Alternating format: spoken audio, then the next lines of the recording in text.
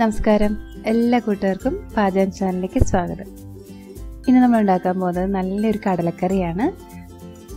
തേങ്ങയൊന്നും ചേർക്കാതെ നല്ല കൊഴുപ്പുള്ള ചാറോട് കൂടി നല്ല ടേസ്റ്റി ആയിട്ടുള്ള കടലക്കറി ഉണ്ടാക്കുന്നത് എങ്ങനെയാണെന്ന് നമുക്ക് കാണാം. അതിനായിട്ട് ഞാനിവിടെ ഒരു കപ്പ് കടല എടുത്തിട്ടുണ്ട്. കടല നമുക്ക് വലിയ ടൈപ്പ് കടലയും മേടിക്കാൻ കിട്ടും. പിന്നെ ഇതുപോലെ ചെറുതും കിട്ടും. ചെറുതിനാണ് കുറച്ചുകൂടി ടേസ്റ്റ് കൂടുതലായിട്ടുള്ളത്. ഇവിടെ വീട്ടിൽ എല്ലാവർക്കും ചെറിയ ടൈപ്പാണ് ഇഷ്ടം. ഇത് നമുക്ക് ആദ്യം തന്നെ വെള്ളത്തിൽ കുതിർത്തെടുക്കണം. ഒരു ഏഴോ എട്ടോ മണിക്കൂർ ഇത് വെള്ളത്തിൽ നന്നായിട്ട് കുതിർത്തെടുക്കണം.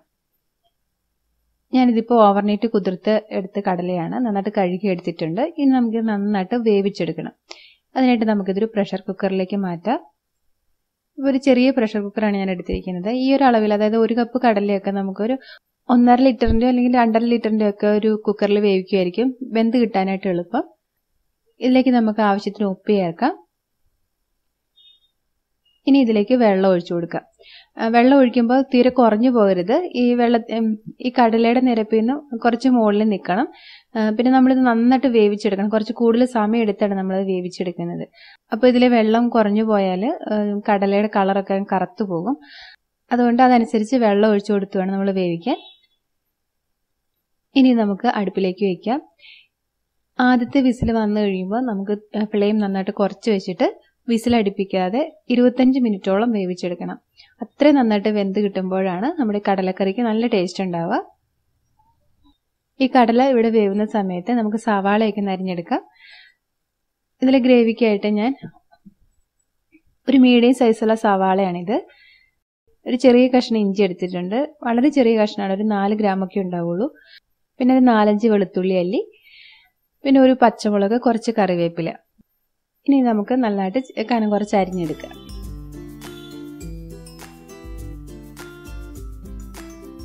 ഇഞ്ചി വെളുത്തുള്ളിയും കൂടി അരിഞ്ഞെടുക്കുക അല്ലെങ്കിൽ ചതച്ചെടുക്കുക ചെയ്യാം. ഞാനിപ്പോൾ ചതച്ചെടുത്തിട്ടുണ്ട്. പിന്നെ നമ്മുടെ കടലക്കറിക്ക് നല്ല ടേസ്റ്റ് കൊടുക്കാനായിട്ട് മുളക് പൊടിയുടെ മല്ലിപ്പൊടിയുടെ ഒപ്പം നമ്മൾ കുറച്ച് പെരിഞ്ചീരകമാണ് ചേർക്കുന്നത്.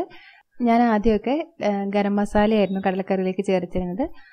പക്ഷെ പെരിഞ്ചീരകം ചേർത്ത് തുടങ്ങിയപ്പോൾ ആ ടേസ്റ്റാണ് എല്ലാവർക്കും കൂടുതൽ ഇഷ്ടമായത്. ഒരു മുക്കാൽ ടേബിൾ സ്പൂൺ പെരിഞ്ചീരകം വറുത്ത് പൊടിച്ചതാണിത്. പെരിഞ്ചീരകം നല്ല ഫ്രഷ് ആയിട്ട് തന്നെ പൊടിച്ച് ചേർക്കുമ്പോഴാണ് കേട്ടോ നമ്മുടെ കറിക്ക് നല്ല ടേസ്റ്റ് ഉണ്ടാവുന്നത്. ഇപ്പം നമ്മുടെ കടല ഞാനിവിടെ ഓഫ് ചെയ്തിട്ട് കുറച്ച് നേരം അതിന് പ്രഷറൊക്കെ പോയിട്ടുണ്ട്. നമുക്ക് തുറക്കാം. കടല നന്നായിട്ട് വെന്തിട്ടുണ്ട്. നല്ല സോഫ്റ്റായി വന്നിട്ടുണ്ട്. ഈ കടലയുടെ ഒരു പ്രത്യേകത ഇത് എത്രമാത്രം നമ്മൾ വേവിച്ചാലും വെന്ത് ഉടഞ്ഞു പോവില്ല. അതുകൊണ്ട് തന്നെ ഇതിന്റെ ഗ്രേവിക്ക് കട്ടി വളരെ കുറവായിരിക്കും. നമ്മൾ പരിപ്പൊക്കെ വേവിക്കുകയാണെങ്കിൽ വെന്തുടഞ്ഞിട്ട് അതിന്റെ അത് നല്ല കൊഴുപ്പോട് കൂടി കിട്ടും നമുക്ക്. ഈ കടല നമ്മൾ കറി വെച്ച് കുറച്ചു നേരം ഇരുന്ന് കഴിഞ്ഞാൽ കടലയുടെ ഗ്രേവി കട്ടി കൂടി വരും.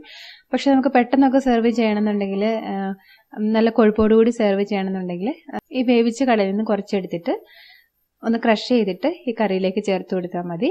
നമ്മുടെ കറിക്ക് നല്ലൊരു തിക്നെസ് കിട്ടും. ഇനി നമുക്ക് ഒരു പാൻ അടുപ്പത്ത് വെച്ച് സവാളയൊക്കെ വഴറ്റിയെടുക്കാം. കുറച്ച് കൂടുതൽ എണ്ണ ഒഴിക്കുന്നത് നല്ലതാണ് കേട്ടോ. വെളിച്ചെണ്ണ ഉപയോഗിക്കുമ്പോഴാണ് നമുക്ക് ഈ കറിക്ക് നല്ല സ്വാദ് കിട്ടുന്നത്.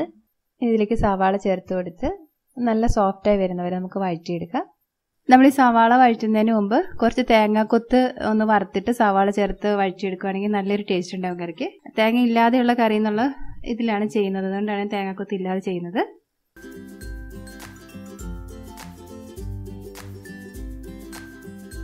സവാള ഒരുവിധം നന്നായി വാടിക്കഴിയുമ്പോൾ നമ്മൾ ചതച്ച് വെച്ച ഇഞ്ചിയും വെളുത്തുള്ളിയും ചേർക്കാം.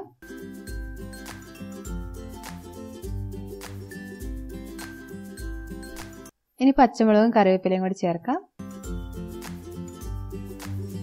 ഇനി നന്നായിട്ട് നന്നായിട്ട് വഴന്നു വരണം. ഒരു ചെറിയൊരു ഗോൾഡൻ ഷെയ്ഡൊക്കെ ആയി വരുന്നവരെ നമുക്കിത് വഴറ്റിയെടുക്കാം. ഇനി നമുക്ക് ഇതിലേക്ക് പൊടികൾ ചേർത്ത് കൊടുക്കാം. പൊടികൾ ചേർക്കുന്ന സമയത്ത് അത് കരിഞ്ഞു പോയിരിക്കാനായിട്ട് നമുക്ക് ഫ്ലെയിം ഒന്ന് കുറച്ച് വെക്കണം. ഒരു ടേബിൾ സ്പൂൺ മല്ലിപ്പൊടി.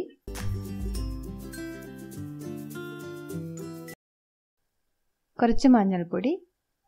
ഒരു അര ടേബിൾ സ്പൂൺ തൊട്ട് മുക്കാൽ ടേബിൾ സ്പൂൺ വരെ മുളക് പൊടി എടുക്കാം. അത് എരിവിനനുസരിച്ച് ചേർത്ത് കൊടുക്കാം.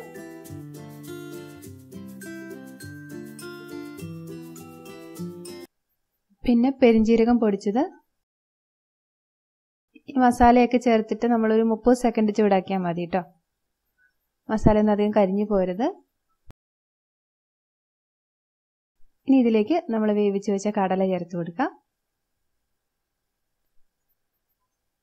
ഇനി ഈ കടലയിൽ മസാലയൊക്കെ നന്നായിട്ട് ഒന്ന് പിടിച്ചു കിട്ടാനായിട്ട് ഒന്ന് മൂടി വെച്ചിട്ട് കുറഞ്ഞ ചൂടിൽ ഒരു മൂന്ന് മിനിറ്റോളം നമുക്ക് വേവിച്ചെടുക്കാം.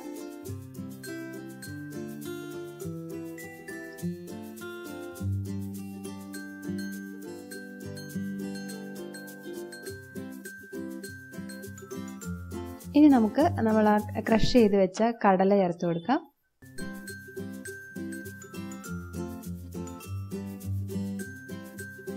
ഇനി ഞാൻ ഫ്ലെയിം ഓഫ് ചെയ്യാണ്. ഇനി കൂടുതൽ നമ്മൾ ഇത് കുക്ക് ചെയ്താൽ ഈ ഗ്രേവി ഒത്തിരി കുറുകി പോകും. ഈ നമ്മൾ ക്രഷ് ചെയ്ത കടലയും കൂടി ചേർത്തിട്ടുണ്ടല്ലോ. ഇപ്പോൾ നമ്മൾ പുട്ടിന്റെ കൂടെയൊക്കെയാണ് സെർവ് ചെയ്യുന്നതെങ്കിൽ നമുക്ക് നല്ല ചാറ് വേണം. അപ്പോൾ നമുക്കിപ്പോൾ തന്നെ ഫ്ലെയിം ഓഫ് ചെയ്യാം. അവസാനമായിട്ട് നമുക്കിതിന് മുകളിലേക്ക് കുറച്ചുകൂടി പെരിഞ്ജീരകപ്പൊടിയും ഒരല്പം കറിവേപ്പിലയും കൂടി ചേർക്കാം. ഇപ്പം നമ്മുടെ വളരെ ടേസ്റ്റി ആയിട്ടുള്ള കടലക്കറി ഇവിടെ റെഡി ആയിട്ടുണ്ട്. ഇത് പുട്ടിന്റെ കൂടെ വെള്ളയപ്പത്തിന്റെ കൂടെ ബ്രെഡ് ചപ്പാത്തി ഇടിയപ്പം ഇതിനൊക്കെ നല്ല കോമ്പിനേഷനാണ് ചോറിന്റെ ഒപ്പം കഴിക്കാൻ നല്ല ടേസ്റ്റാണ് അപ്പോൾ ഇതുപോലെ എല്ലാവരും ഒന്ന് ട്രൈ ചെയ്ത് നോക്കണം. ഇഷ്ടപ്പെട്ടെങ്കിൽ ലൈക്ക് ചെയ്യാനും ഫ്രണ്ട്സിനും റിലേറ്റീവ്സിനൊക്കെ ഷെയർ ചെയ്ത് കൊടുക്കാനും മറക്കരുത്. നിങ്ങളുടെ അഭിപ്രായങ്ങൾ തീർച്ചയായിട്ടും അറിയിക്കണം. പതിനഞ്ചാലന്റെ വീഡിയോസ് ഫേസ്ബുക്കിൽ കാണുന്നതിന് ഫേസ്ബുക്ക് പേജ് ലൈക്ക് ചെയ്യുക. അപ്പോൾ നമുക്ക് വീണ്ടും നല്ലൊരു റെസിപ്പിയിലൂടെ കാണാം. അതുവരെ നന്ദി നമസ്കാരം.